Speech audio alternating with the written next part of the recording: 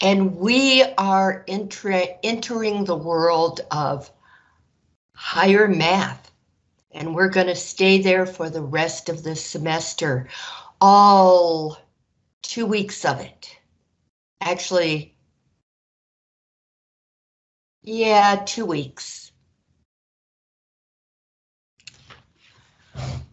And then it's summer fun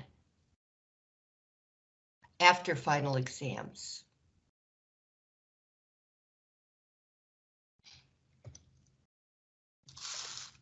All right, so we're going to talk about exponential functions.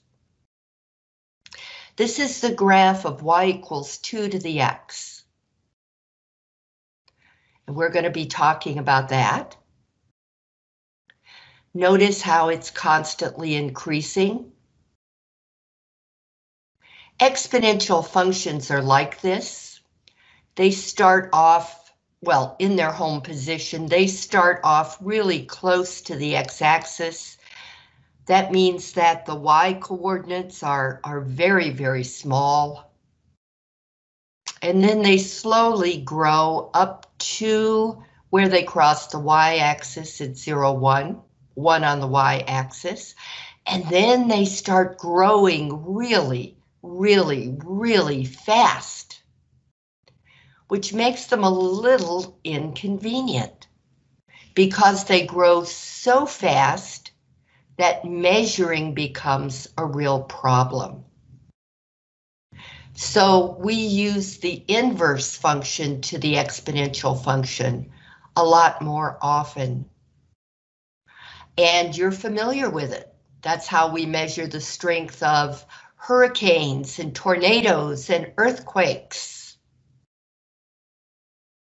And we're going to talk more about that next week. But this week, we're going to talk about exponential functions. Let's see. Okay. Here's the graph of y equals 2 to the x on a graphing calculator.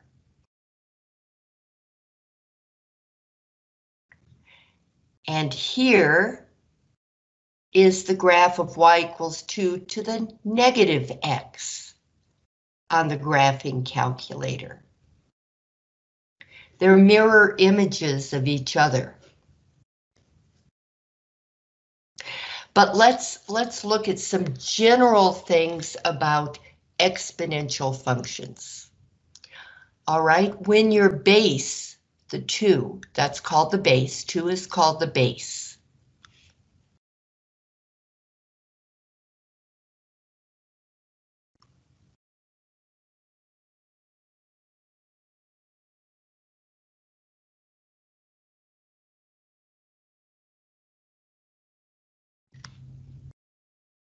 Okay, when the base is a number greater than 1, 2 is definitely greater than 1, you have a shape like this.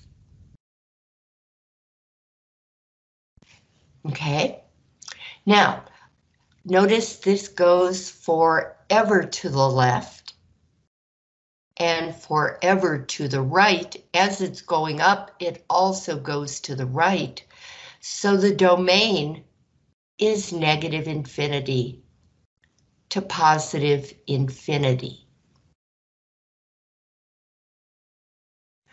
On the other hand, the range, whoop, the range is paren zero to infinity. And the reason for that is even though this graph gets closer and closer and closer to the x-axis here, and the x-axis is y equals zero, that's where the zero comes from. Um, this graph is never, this line is never, the graph is never going to actually touch the x-axis. Okay, the x-axis is actually an asymptote the asymptote. It's a horizontal asymptote.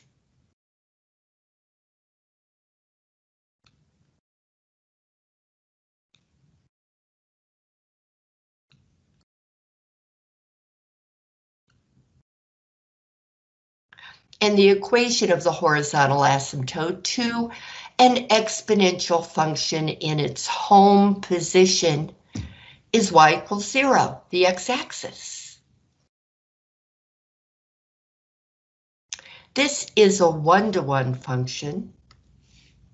Notice that if I draw a horizontal line through it, the horizontal line touches the graph at only one point. Therefore, this graph, this function, passes the HLT, the horizontal line test, which makes it a one-to-one -one function. So yes, it's one-to-one, and not only that, it's increasing on its entire domain. That means it never turns around and goes down. It will never be decreasing. This graph is only increasing.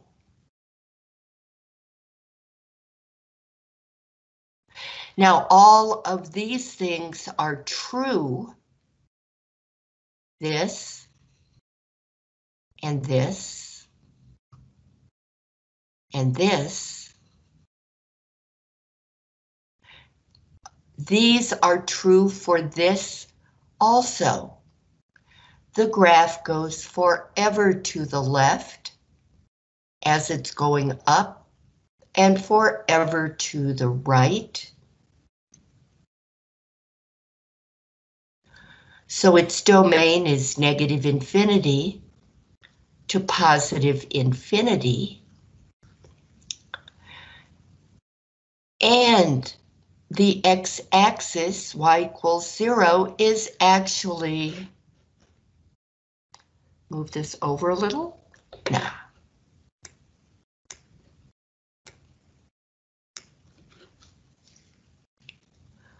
Um, yeah, y equals zero is the x-axis, and this graph is going to come down and get closer and closer and closer to the x-axis, but never touch it you know, until you can't even tell the difference if you're looking through an electron microscope. So the range, we always go from the lowest to the highest. The range is from y equals zero up to infinity.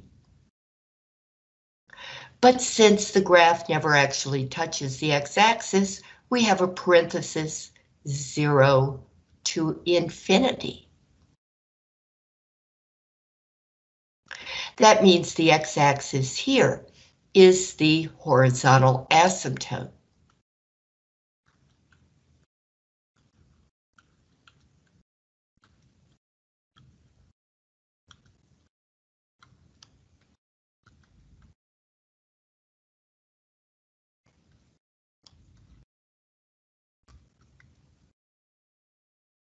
And it's y equals zero, the x-axis.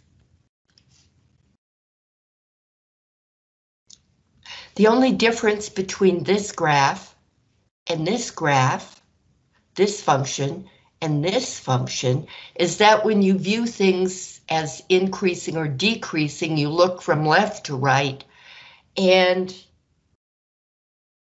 this is decreasing on its entire domain.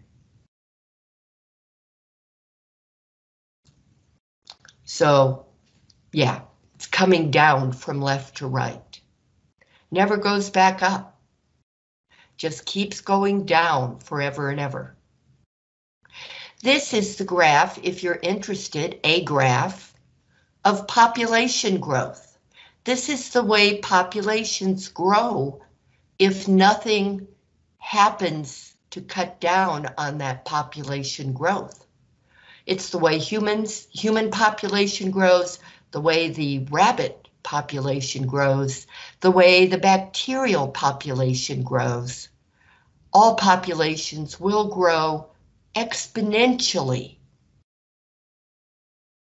um, unless something like a plague happens or a natural disaster that cuts down the population.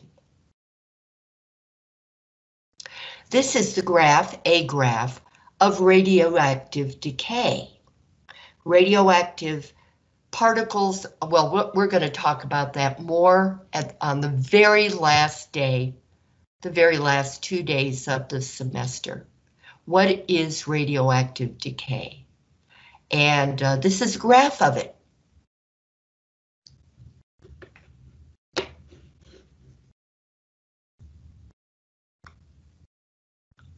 This is another exponential function, but the base is e.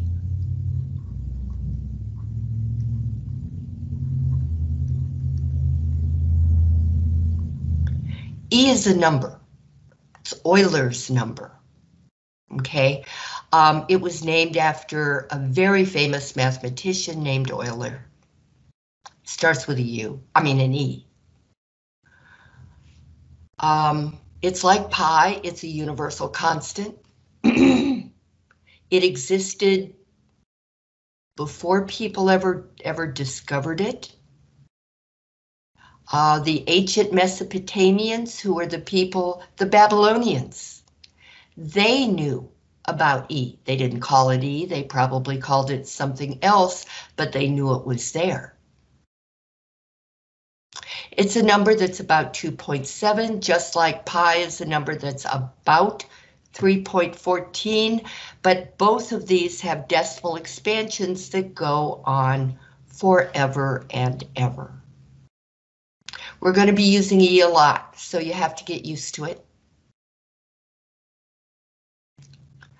Okay, but E is a number greater than 1, isn't it? So e to the x, the graph of e to the x is going to look pretty much like the graph of 2 to the x.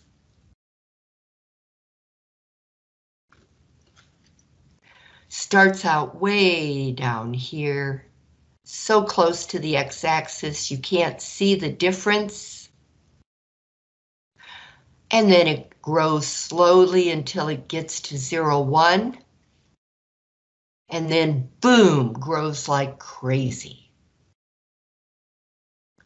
The same things are true of this as, uh, as of 2 to the x. The domain is negative infinity to positive infinity. Over here as well, negative infinity to positive infinity. This is e to the negative x. So it's a mirror image across the y-axis. They are mirror images of each other across the y-axis. Um, I need to keep this down so you can see. All right, so there's the same domain, negative infinity to positive infinity same thing over here. Domain is negative infinity to positive infinity.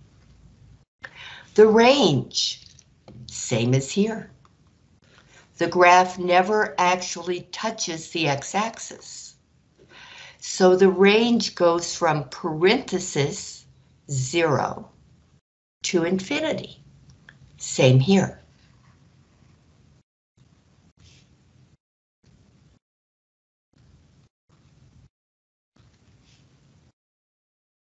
All right, and this is one-to-one. -one. Draw a horizontal line through any part of the graph, and that horizontal line intersects the graph at only one point. Therefore, this graph passes the HLT, the horizontal line test. Same thing here. Horizontal line intersects the graph at only one point. Therefore, this is a one-to-one -one function. Why do we care? One-to-one -one functions have inverses. Very important. So this is one-to-one, -one, check. This is one-to-one, check. They're the same. The only difference is that this is increasing on its entire domain, the graph of y equals e to the x.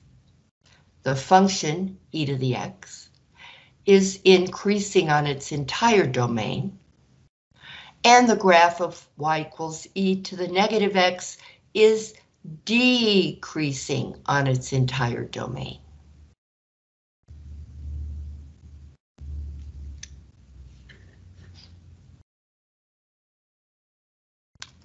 So let's go back to y equals 2 to the x and talk about its inverse. We're going to meet this next week, but I just want you to be prepared. Um, inverses, that is one-to-one -one functions have inverses, and those inverses are mirror images of the original function or of their mate across the line y equals x. So here is the inverse. These are inverses of each other. If f of x equals 2 to the x, f inverse of x is written in a way you're not used to log base 2 of x. That's the inverse. Notice that these things are true.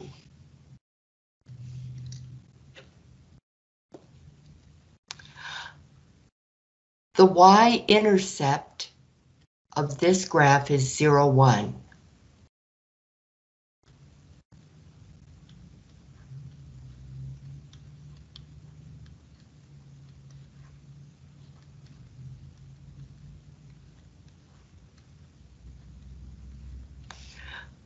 There is no y-intercept.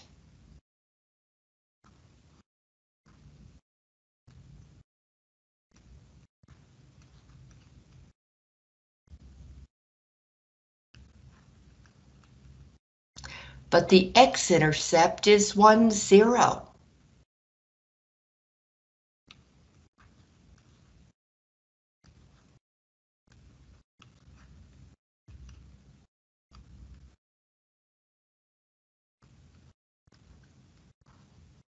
This is precisely what you would expect. Remember that the do domain and range of inverse functions switch. So you've got the 0.01 here, you've got the 0.10 here. Here you've got a horizontal asymptote. Here you've got a vertical asymptote. The y-axis is the vertical asymptote.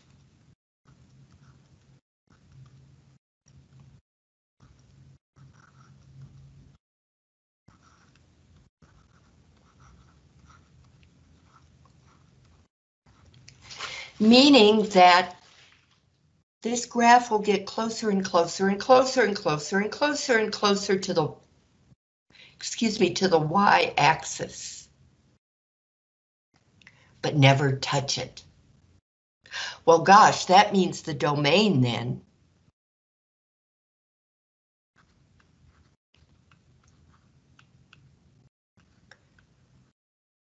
is zero infinity with a parenthesis around the zero because the y-axis is where x equals zero. In fact, that's what the equation is called of the y-axis. It's x equals zero. Since the graph never touches x equals zero, I have to use a parenthesis. Well, remember that the domain over here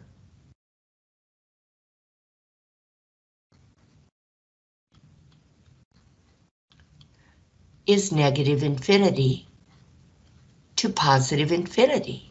The range over here,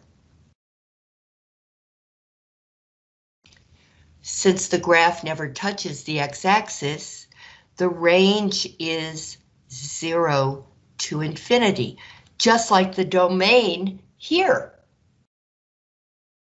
And because this graph goes down forever and up forever, up slowly forever, the range here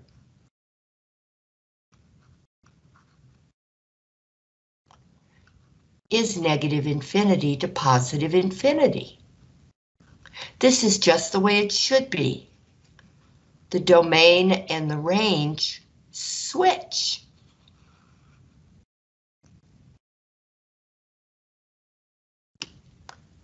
Ultimately cool.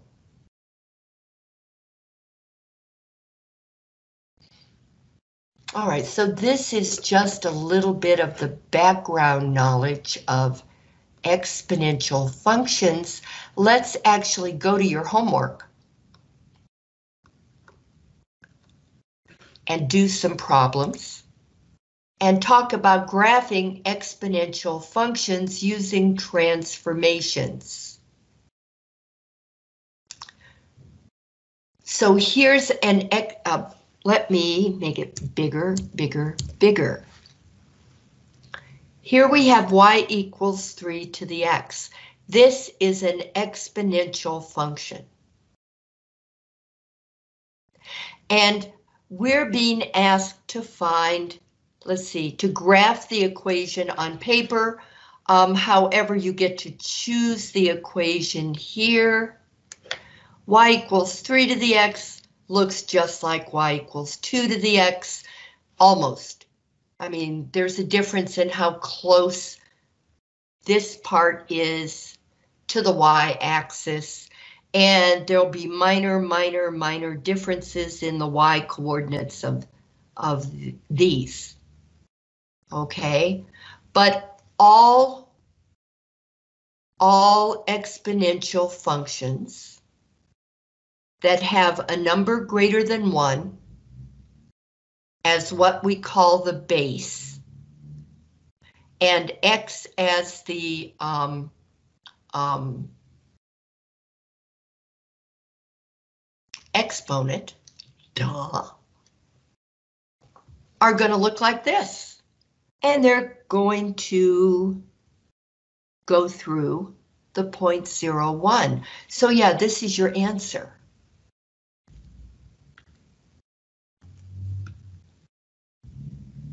And that appears to be all they're asking you. Now,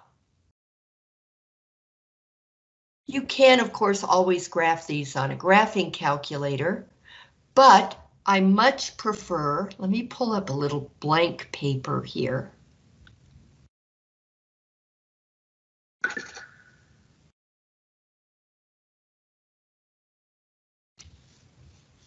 Okay, why?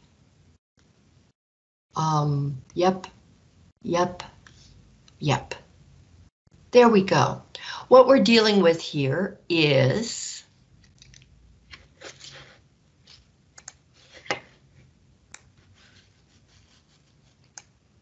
just for a little bit. Now I have to go back down on this. Boom. There, that's pretty good. All right, what we're dealing with here in number one in your homework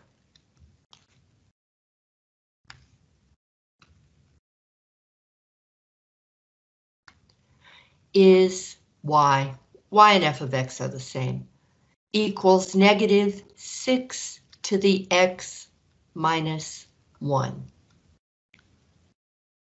Now your basic function,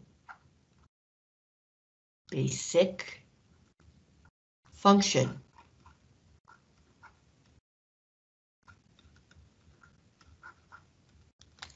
is y equals 6 to the x which looks just like, almost just like, y equals 2 to the x. So, if that's the point 1, 0, then y equals 6 to the x is going to start out here. And go up, up, up, up, up. Okay, so Now, this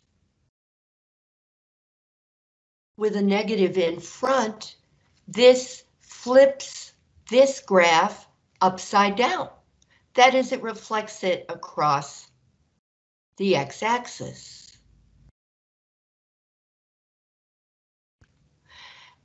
So this is a reflection, a riffle, across the x-axis.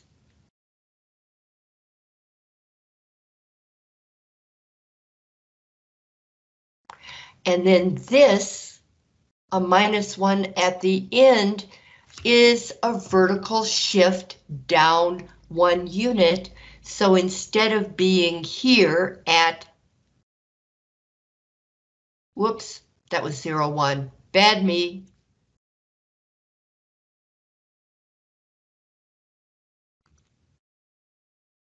This is zero one. This point, put it up here, is zero negative 1 because it got flipped. The graph got flipped. And then this is going to take it down one more unit to 0, negative 2.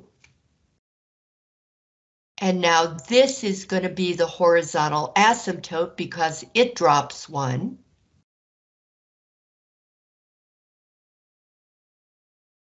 And it's going to look something like that. So when you choose your graph, we're going to have something that looks like either this, let's see, there we go. Now, I, I don't know if you can see the green, it's in green. Who would think to put a graph in green except me? Um, you've got this graph and you've got this graph, but notice that this graph is entirely below the x-axis, which is precisely what our graph would be. So this is the only correct answer.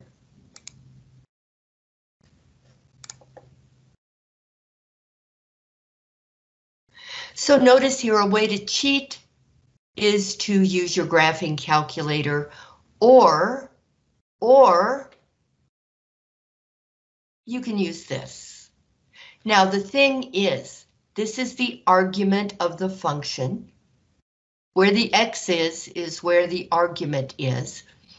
When you have a negative in front of the x, that means you're going to reflect across the y-axis. So let's take a look at this step by step. My great artwork. Okay. So y equals e to the x is your basic function. y equals e to the negative x is a reflection across, oops, across the y-axis a sideways reflection, if you like a horizontal reflection, because everything up here in the argument, the argument is wherever the x is, and the x's deal with horizontal stuff. Okay, so what started out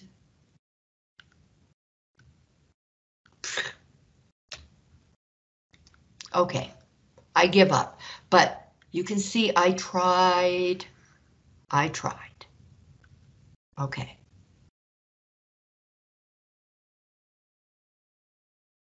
There. Okay, so y equals e to the x has a lot in common with y equals 2 to the x, 3 to the x, 4 to the x, 5 to the x, 6 to the x. This is y equals e to the x. And this is y equals e to the negative x.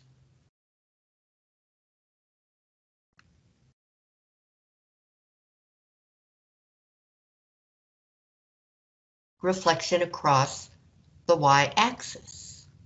Now, what else is happening here? Oops, and there's a plus 2. So, y equals e to the negative x plus 2. This is a, a vertical shift up 2 units.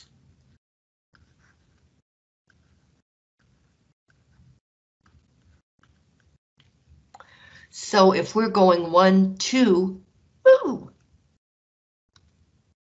then this, now first, before we do anything else, y equals 0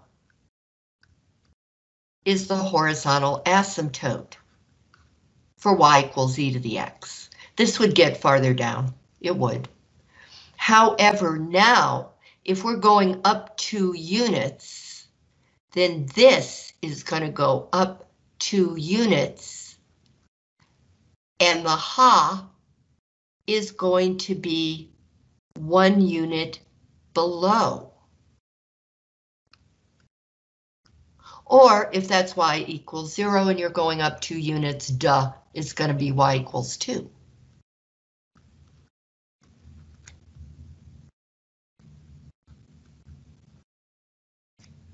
Okay, so now here is the graph.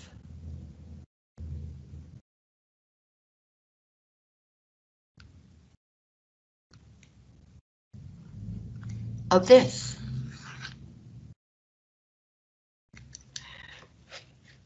So all we have to do, there it is. Yeah. Cool, cool me, cool me. See, the difficult part, I mean, if you learned your transformations, the difficult part here is adapting to the argument of the function, the x stuff, the horizontal stuff, being up here in the air.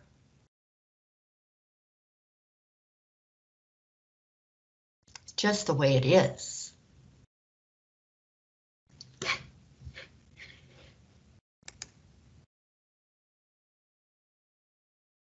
And so here you go on, and I'm just going to talk you through this. Well, maybe I won't. Here's three.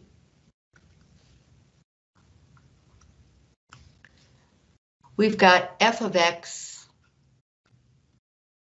Guess I'll try to be a grown-up about this. f of x equals 5 to the negative x minus 3. All right, the basic function, the BF, kind of like best friend, is y equals 5 to the x which looks like this. But we've got 5 to the negative x.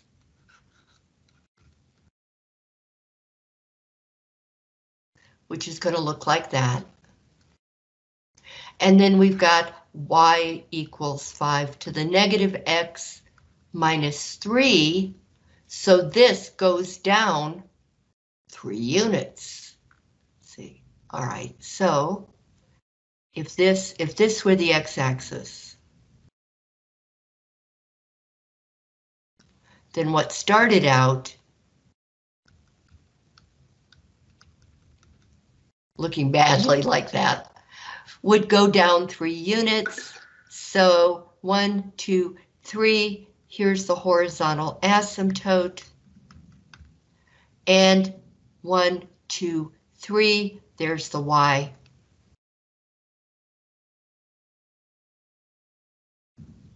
drawn considerably better. The uh, y-intercept. Okay, and then you you pick.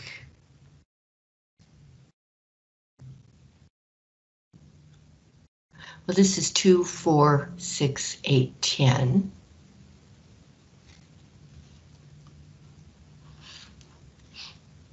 But it's going down. Um, there, I think that's it. Let's take a look at the others. Nah, those two definitely not. It's between A and B.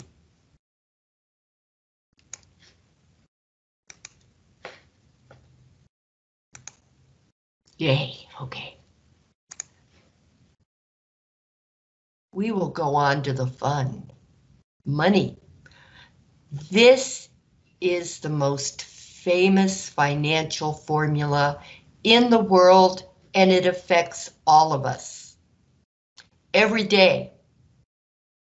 Especially if you've ever had a savings account or um, a CD or an IRA or a retirement fund, anything that is interest bearing, you'll be using this formula or a formula that's derived from this formula.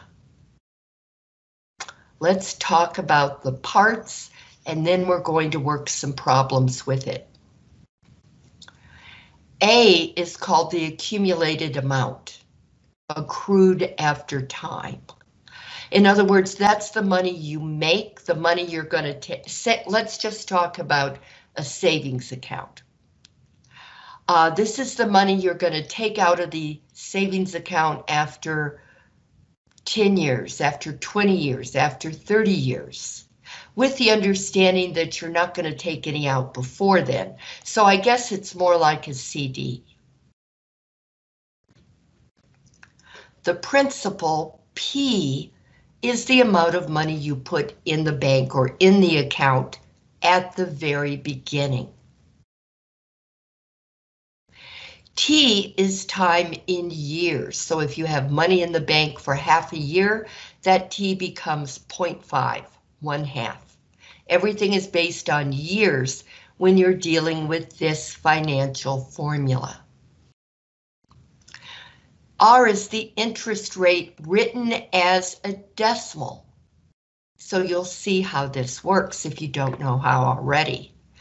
And N is the number of compounding periods per year. That is the number of times a year that interest is calculated on the money in your account and then added back to the account so then there's more money in it. That's how money grows in interest-bearing accounts. So the number of times per year that interest is calculated would be important to you.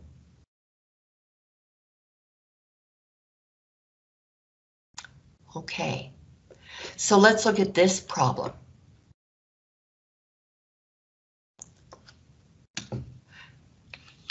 take a drink of coffee.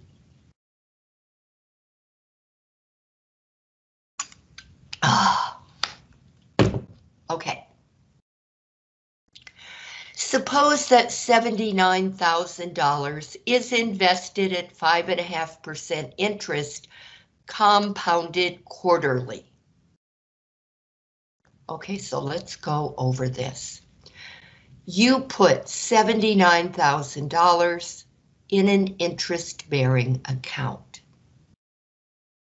The interest rate written as a percent is 5.5. 5.5%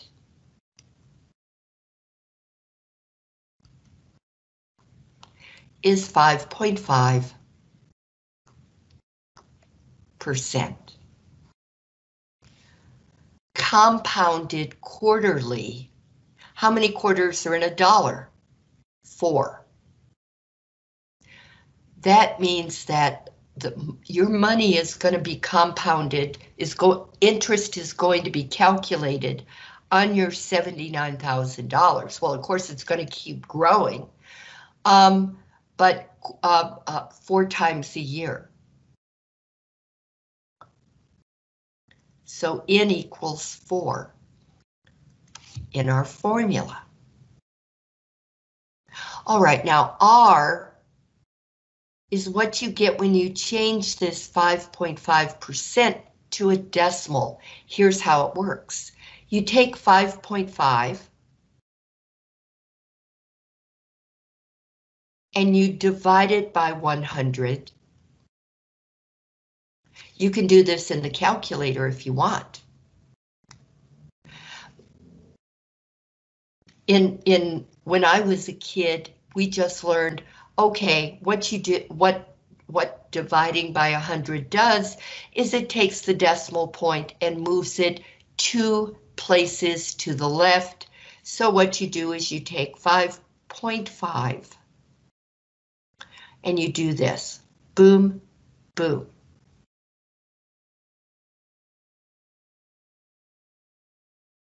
And that gives you the decimal equivalent of 5.5%. However, 5.5 divided by 100 is 0.055. So either way. So now, A, it says find the function for the amount to which the investment grows after T years. That is Here's the general compound interest formula.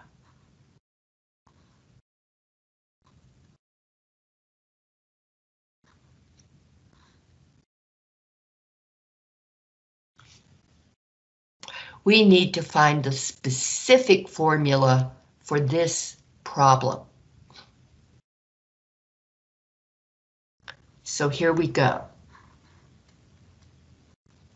A equals 79,000 times 1 plus 0.055 over 4 raised to the 4t power. Now, in most books, this is good enough. However, in this book, you're asked to go to one more step before you enter your formula, and that is to calculate what that is in the parentheses. Okay, we're going to do that. Uh, 1 plus 0.055 divided by 4. There it is. It's a terminating decimal, so we're allowed to write the whole thing. It's short enough so we can. That's the great thing about terminating decimals. You can write the whole thing. 1.01375 close parentheses, raised to the 4t.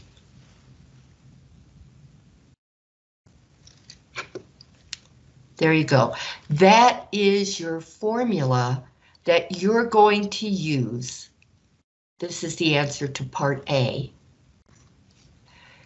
This is the formula you use for part B. That is, find the amount of money in the account at t equals 0, that is in the beginning, t equals 4 after 4 years, t equals 7 after 7 years, t equals 10, or I should say not after 7 years, at 7 years, and t equals 10 at 10 years. So we're going to do that.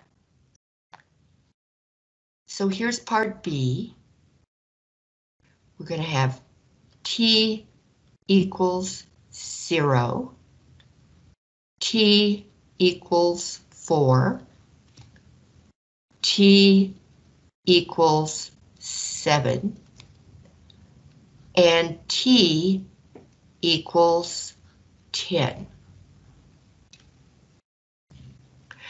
What you're going to notice is that the only thing that changes is t. All right, so if t is zero, you're going to have A equals 79,000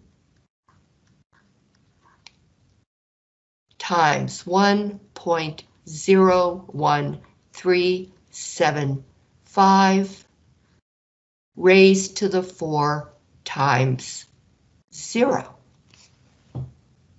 I have found for myself that when I see that, I want to hit a decimal point, even though it's a raised dot. So if I put this in parentheses, I'm going to hit the multiplication key.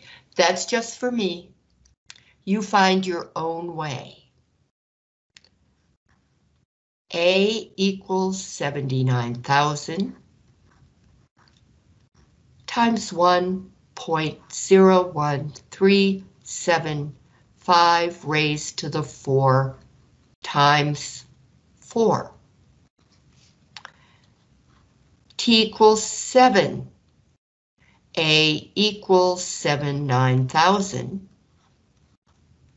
times 1.01375 to the 4 times 7 and A equals 79000 times 1 plus point, point zero one three seven five to the 4 times 10. Now, it stands to reason that this is easier if you go ahead and multiply these in advance. So you would have 0, you would have 16, you would have 28, you would have 40, but that's up to you. What I'm going to do is this. I'm going to do the first one here. 79000 parentheses 1.013 seven, five. Caret four times zero.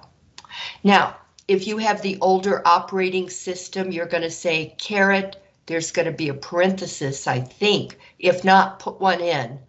And then say 4 times 0 and close your parenthesis. That's the only difference. Okay, so over here I have 79,000, but let's go all the way back to the beginning and make sure I did this right. So seven, 79,000, yes. 1.01375, yes. 4 times 0, yes. Here we go. Who would have thunk it? Of course, t equals zero means in the beginning. That's all you have in the beginning. What's going on here is 4 times 0 is 0. This number, 1.01375, is being raised to the zero power. When any number, if you raise it to the zero power, is 1. So 79,000 times 1 is 79,000.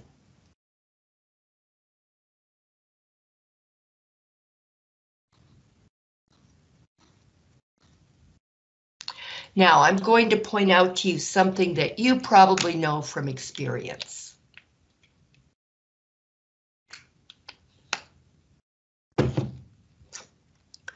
The more times you write or type that, the more likely you are to make a mistake.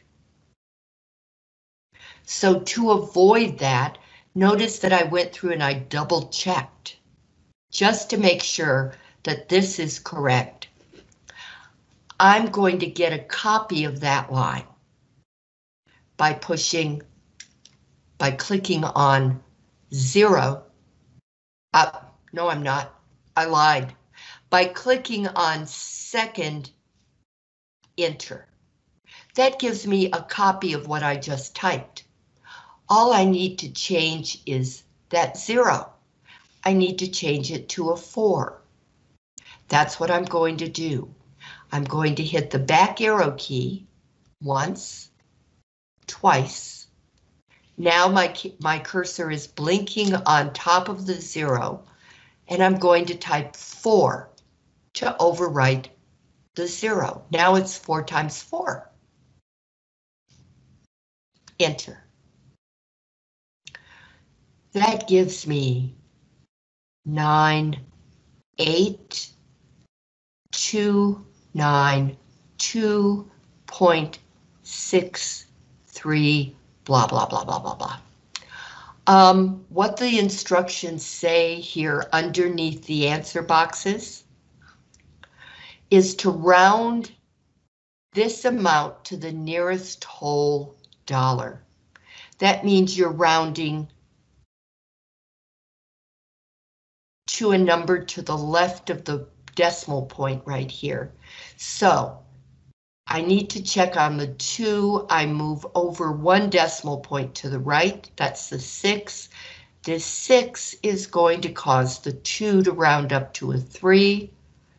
So I'll have nine, eight, two, nine, three. That's how much money we'll have in this account after four, well, at four years. Now I'm going to do the same thing, second enter.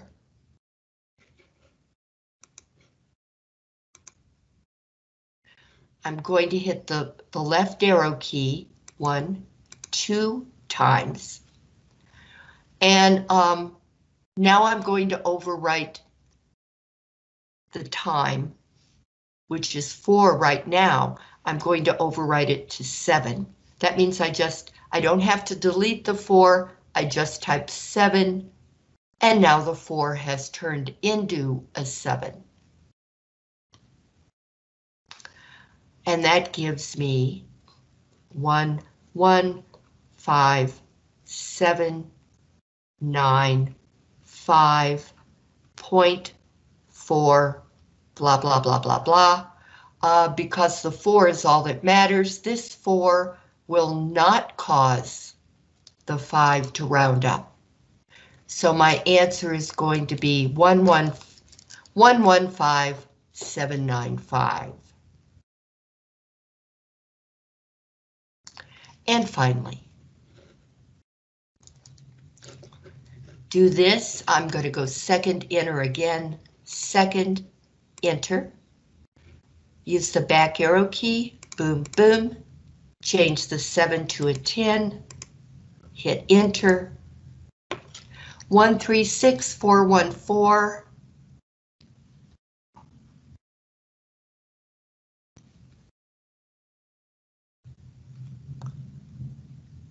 Point eight, blah, blah, blah. The, the eight is all that matters. I don't have to round. The nine does not round the eight. All I do is I look at the eight and it will cause the 4 to round up to a 5. So my answer will be 1, 3, 6, 4, 1, 5. And that's how you work with this. Clearly, you're going to have to be using your calculator. So just force yourself. If you don't have a Texas Instruments calculator, I personally don't know how to use it, but any scientific calculator will let you do this. Um, just read the instructions or go to YouTube and uh, say compound interest formula using whatever kind of calculator you have, hit enter, and I guarantee there will be um, videos showing you how to do it. You can find out how to do anything on YouTube. Change your oil. Change the sink faucet. Build a house. It's incredible. There are probably some bad things you could learn too, but you get what you look for. Okay, let us go on to Melissa. Melissa is on the final. So you want to make sure that you know Melissa, and you know what she's getting for her birthday. Drink a coffee.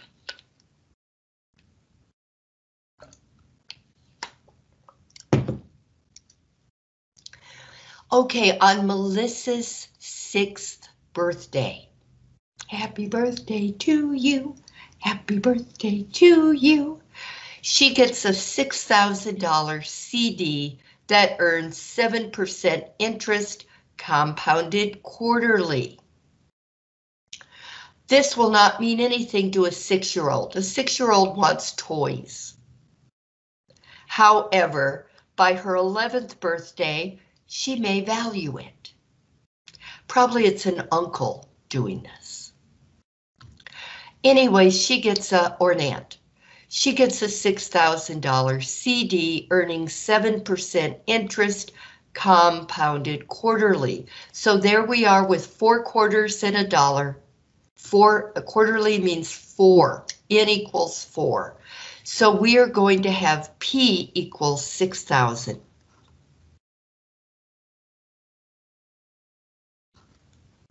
Um, R equals 7 over 100, which is 0.07. And now T, this is designed to mess you up. The most common error working this problem is people let T equal 11, but it's not true. T is the time the money is in the bank. That starts on her sixth birthday. And then uh, it matures. That means she can take it out on her 11th birthday. Hopefully her parent or parents won't let her take it out, but keep it in longer. Okay, so our time is going to be 11 minus 6. So that means the CD is in the in the bank or in whatever institution for only five years.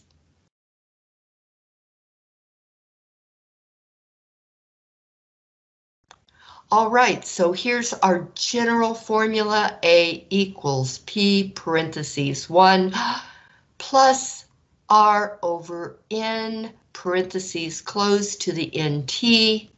And then our specific formula is going to be A equals 6,000 paren 1 plus 0.07 over 4 raised to the 4 times 5. So we're going to find how much money is in the account in five years.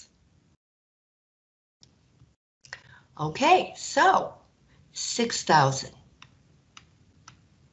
parentheses 1 plus 0.07 divided by 4 parentheses closed caret 4 times 5 is 20. You can just say 20, but 4 times 5.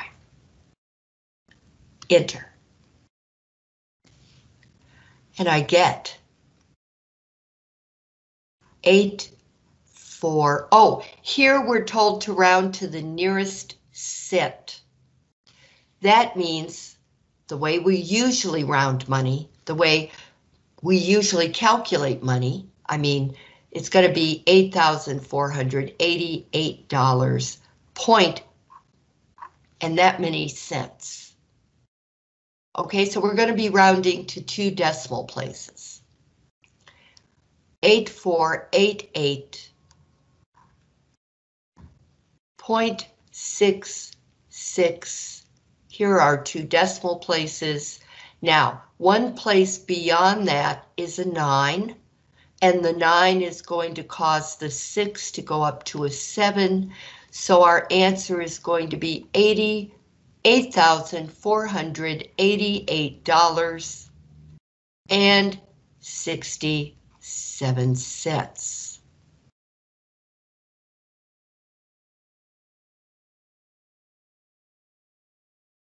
we could go on and find out how much she'll have if Mom forces her to keep it in the bank and uh, take it out when she's ready to go to college. If she wants to go to college. But if we have time, maybe we'll do that. But let's go down here because there are things that you need to see. For inst, uh, for instance, interest is compounded semi-annually. We haven't dealt with that. Semi-annually means two times a year. N equals two. All right, so the rest of this is given to you. P equals 4,000. The interest rate is going to be 4 over 100, which is 0.04. The time is three years and N is two. We can even make a little column for that. Right there. Okay, so A equals P parentheses 1 plus R over N to the NT. That's the general compound interest formula. The specific compound interest formula for this problem is 4,000 parentheses 1 plus 0.04 over 2 parentheses closed raised to the nt. N is 2, T is 3.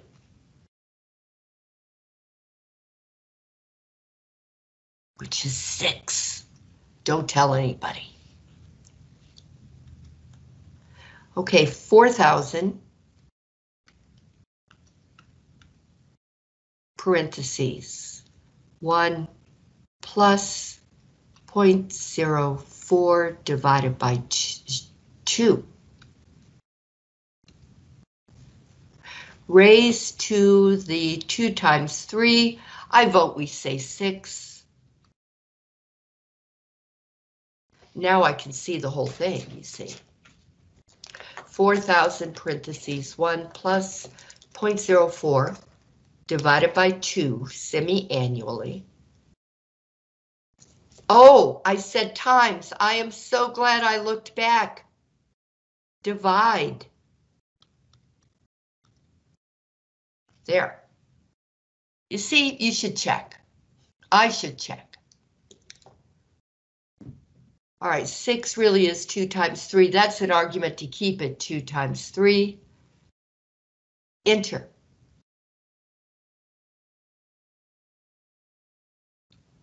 Four thousand five hundred four dollars. And six, four, followed by a nine. This nine will cause the four to go up to a five. So we will have 4504.7.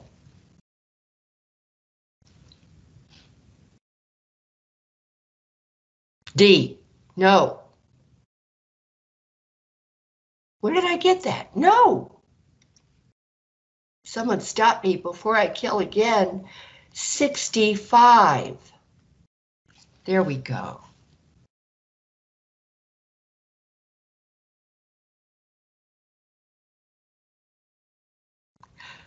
Discussion.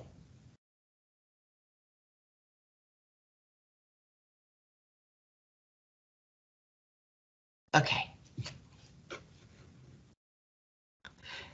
So now we know this. We know quarterly.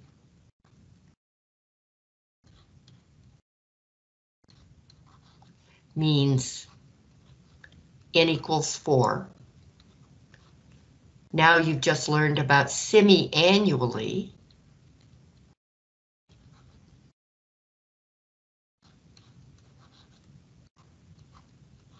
which means n equals 2. And oh, by the way, annually.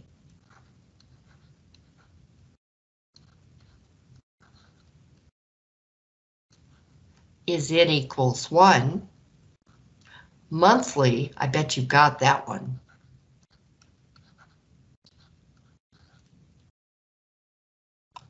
n equals 12. And daily, which we're about to do, daily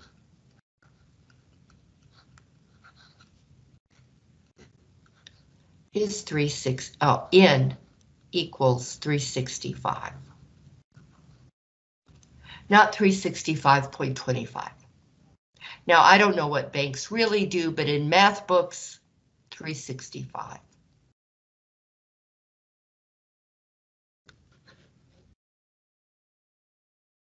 And there we have it. Daily. And we've got all the rest, right? T is 5. Yes, we've got everything we need.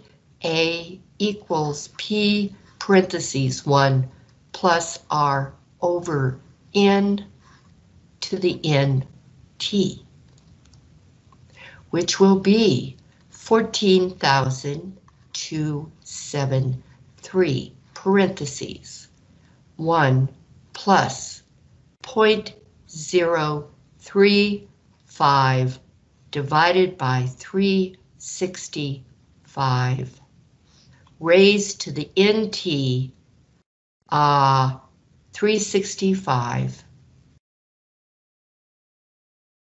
3 no 365 times 5 uh, no no no not for me. 5 when you know you make a mistake or tend to change something.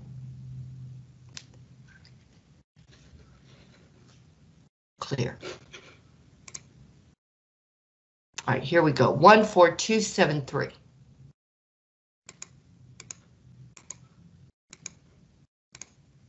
Paren. 1 plus 0.035 divided by 365. Parentheses closed. Raised to the 365 times 5. That's horrible. Okay. Now, yeah, I'm going to check this again.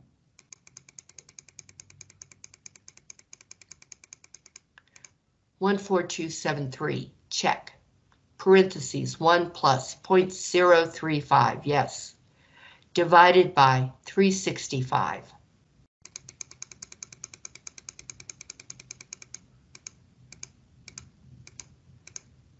To the 365 times 5 power. Okay. Enter. Okay. Seventeen thousand two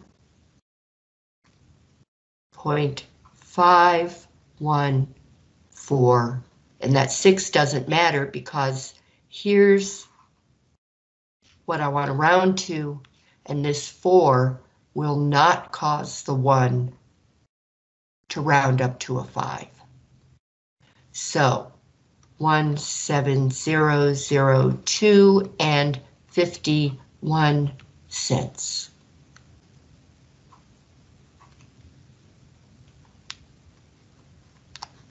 The dollar sign will already be there for you. You don't have to write it.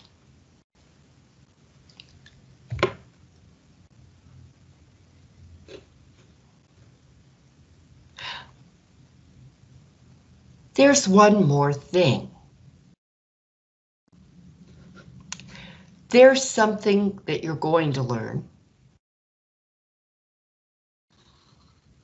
You haven't learned.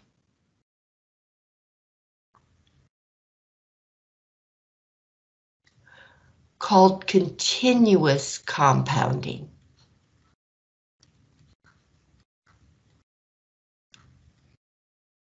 You'll know when you get there. You're not going to encounter this tonight, but I want you to know it's coming.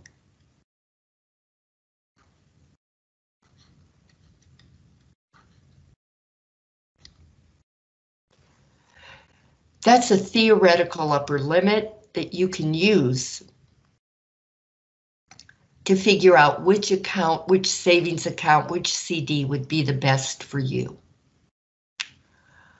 Um,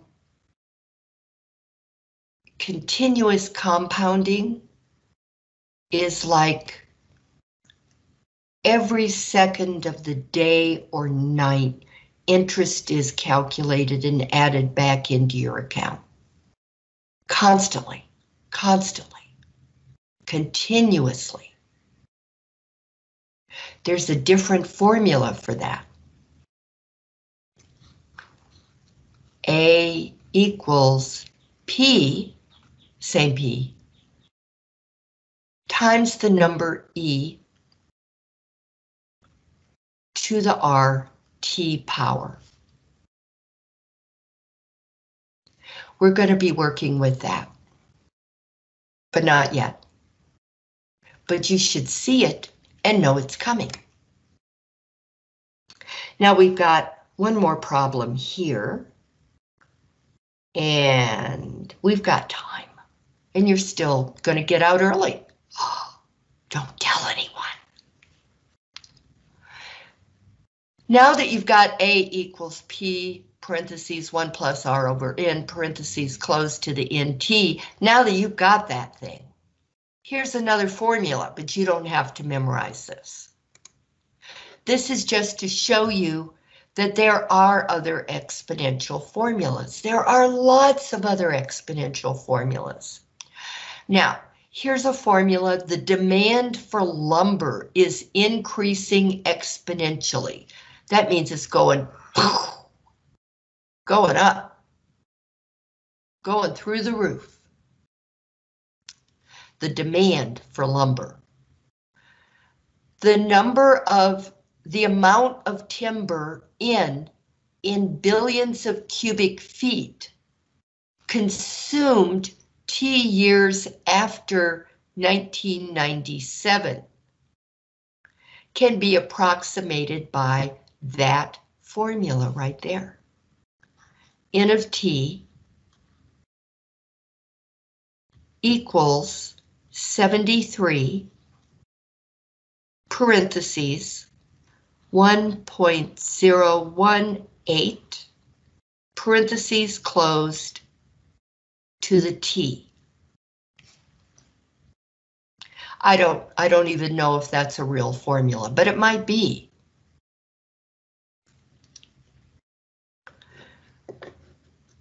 Where T corresponds to 19, T equals zero corresponds to 1997. And this tells us how much lumber was consumed in 1998. Well, if T equals zero is 1997, then T equals one is going to be 1998. So that's cool. N of 1, or in at one year, equals 73 times 1.018 to the 1 power, and that'll be uh, billions of cubic feet. I'm not sure consumed is really the right term. I think of eating when I hear about consumed, but actually consumers yeah, I guess consumed is right. So 73 times 1.018.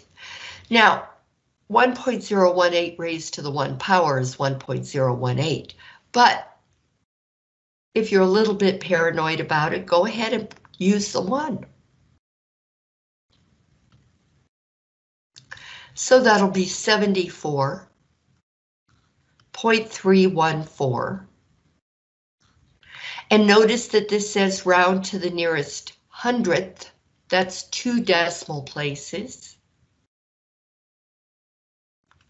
Look at the four, the four will, will not, it won't cause anything to round up. So our answer in the answer box, if it would fit, 74.31 billion cubic feet.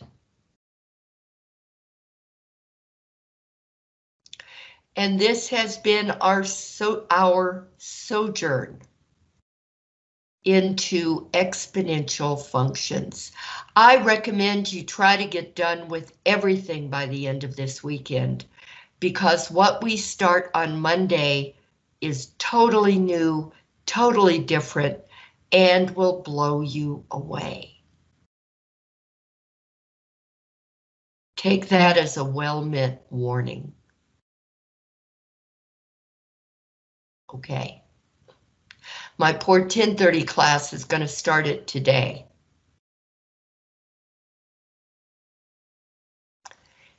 See you later. Unless you have questions, hang around if you do. Thank you. Thank you.